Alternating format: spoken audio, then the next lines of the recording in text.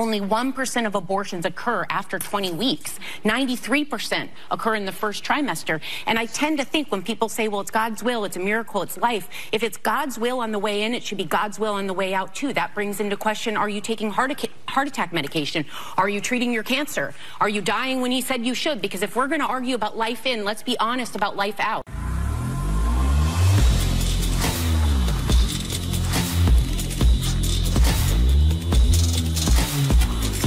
Video is brought to you by Pure Talk, brought to you by Pure Talk. You want a killer Black Friday deal? I got one for you. Free Moto G 5G phone from Pure Talk. No gimmicks, no trade-in necessary. Just sign up for Pure Talk's unlimited talk, unlimited text, and 15 gig data plan for just 35 bucks and get the Moto G 5G phone for free. But here's the deal.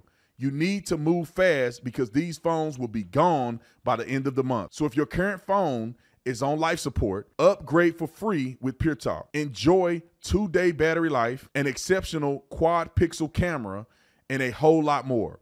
Just dial pound 250 and say keyword Brandon Tatum to speak with Pure Talk's U.S. customer service team.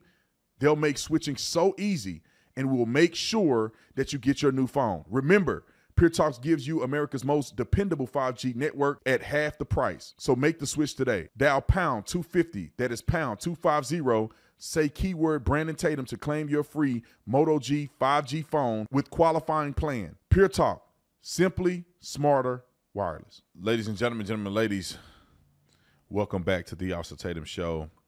If you thought that the view couldn't get any more deranged, listen up. I want to play this clip of somebody at the view. I'm not going to name call. I'm not going to name call tonight. But I want you to listen to this clip and tell me what you think about what you're about to hear or what you hear. Roll clip two.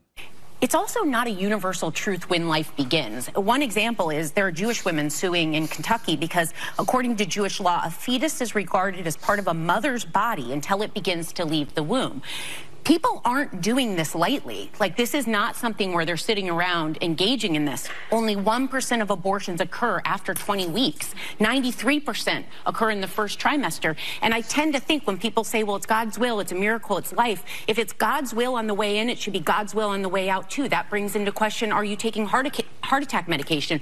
Are you treating your cancer? Are you dying when he said you should? Because if we're going to argue about life in, let's be honest about life out. Mm-hmm. Don't go to the hospital if you're hurting because it was God's will. Well, like I don't like the inconsistencies and the hypocrisy when people weaponize religion on this and, issue. And These people are so stupid.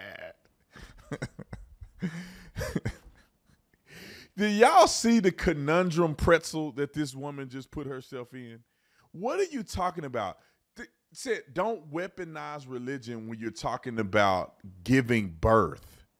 Hey, Dumbo, if it's God's will, meaning that when you get pregnant, it's God's will for you to have a baby.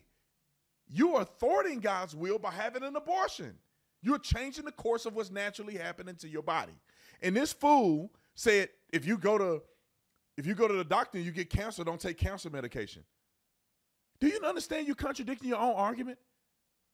If you just let cancer happen to you, meaning you don't obstruct, you don't abort the cancer. You just let the cancer take over and kill you. If that's the if that's what the end result is going to be, then when you have the baby, you just give birth to the baby. If you take cancer medication to avoid and get rid of the cancer, it's like taking abortion pills, plan B, and having an abortion. So your argument doesn't make sense. The religious argument is the argument of allowing life to happen. Yo, narrow behind, laid up with somebody, and you got pregnant. Duh. That's like saying I'm gonna go roll in mud and expect not to get dirty. What are you talking about? It, it, listen, y'all. I say this every time I talk on the radio because there's new people listening all the time. If getting pregnant consisted of walking down the street and slipping on a banana peel and you just hit the ground and get pregnant, then I'd say, hey man, maybe abortion is a thing. But it take more than slipping on a banana peel. It takes some text messages. It takes some flirting at the bar. It takes some, hey, I like you, or you like me. It takes some getting to the bedroom, taking your clothes off. It takes some you know what to do, you know what, and you know who.